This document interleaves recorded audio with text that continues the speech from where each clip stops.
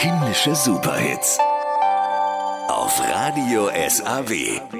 Shawn Mendes Stimme macht allein schon Gänsehaut. Aber wenn sein Song dann auch noch von Trennung handelt und vom Gehen lassen und vom Durchhalten, ja, dann darf man sich auch einfach mal fallen lassen und der Musik die Regie überlassen. Einfach mitfühlen und die Hoffnung mit Shawn Mendes teilen, dass das Leben auch nach einer Trennung weitergeht.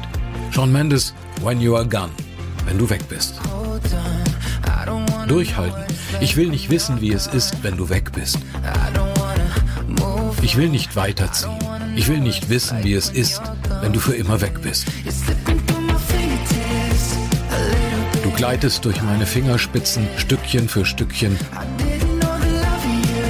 Ich wusste nicht, dass dich zu lieben das Glücklichste war, was mir je passieren konnte. Also versuche ich einfach durchzuhalten.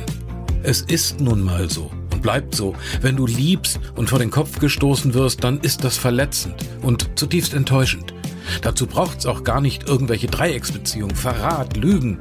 Das Verlassenwerden, das reicht schon, ist das eigentliche Schwere. Das zu akzeptieren, das kostet Zeit, Tränen und die Kraft, to hold on, durchzuhalten. Ich muss lernen, wie ich ohne dich zurechtkomme. Ich versuche mich selbst zu schützen, aber nur du weißt, wie das geht, ja.